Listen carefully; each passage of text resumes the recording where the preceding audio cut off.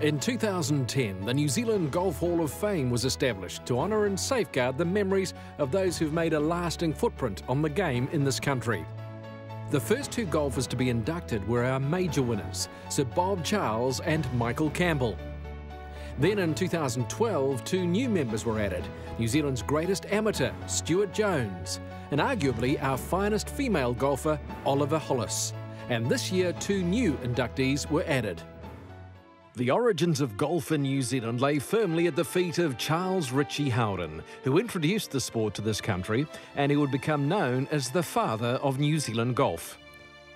Howden was born in Edinburgh in 1839, moving to Dunedin at the age of 23.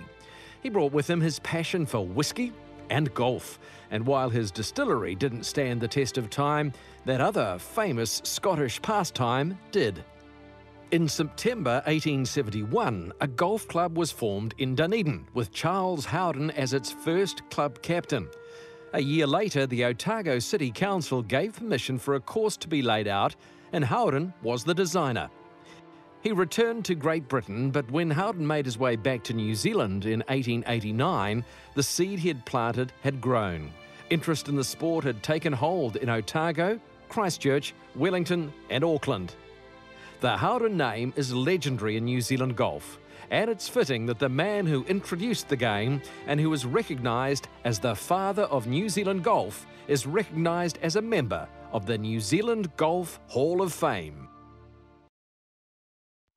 Arthur Donald Stewart Duncan is intrinsically linked with golf in New Zealand as a prolific winner of championships and a devoted administrator of the sport he loved.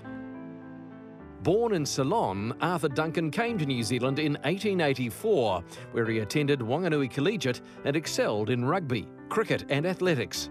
But it was golf he chose, and golf where he excelled beyond pair. He won his first New Zealand amateur crown in 1899, and a staggering nine more titles followed by 1926. During this period, he won three New Zealand Open championships to dominate the amateur game in New Zealand for a quarter of a century and earn the title of the greatest of them all. Duncan was described as having a rhythmical swing and mastery of his irons. Qualities that enabled him to play to a scratch handicap well into his 60s. He had the unique distinction in his 60th year of leading the amateur field in the Open Championship of 1935, something that had never been done before and certainly not achieved since.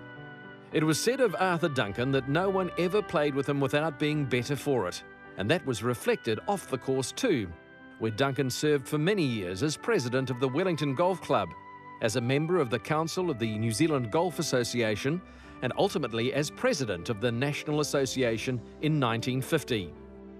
Arthur Duncan passed away a year later, aged 75.